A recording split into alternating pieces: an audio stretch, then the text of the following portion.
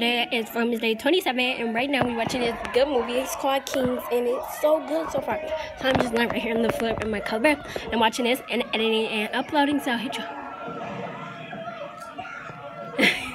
hit you guys later. Peace. Guys. Um, me and my sister just made us coffee. Because, you know, coffee is babe.